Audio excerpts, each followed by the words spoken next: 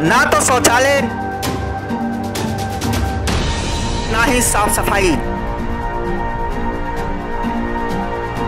जनता बोले वोट लिए तो काम करो।